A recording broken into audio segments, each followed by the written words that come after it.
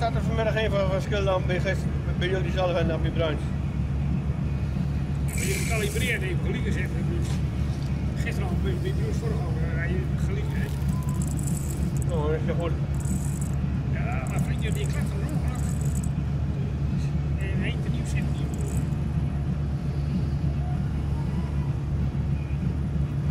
Ik moet zeggen dat het niet hier was. Ja, net. 16e.